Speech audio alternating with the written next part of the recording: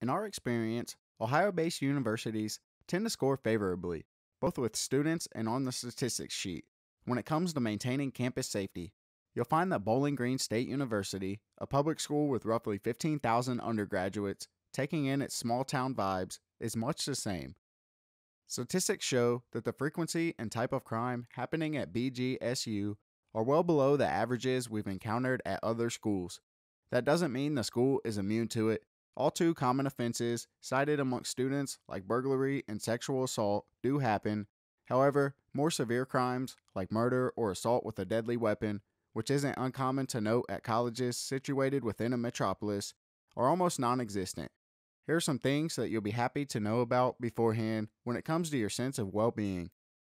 The BGSU Police Department offers 24 hour protection with 25 full time officers that have total authority to enforce state laws, local ordinances, and university policies.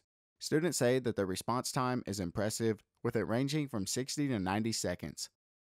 Dorms are kept locked down using a computerized system, and strict guidelines are in place for checking people in after dark. In recent years, the university has cracked down on students for propping open doors, which leads to theft. Don't want to walk home alone at night? Well, you shouldn't and you don't have to. Shuttle services that patrol the campus and select parts of the community aren't to be discredited despite not being perceived as the coolest way to get around.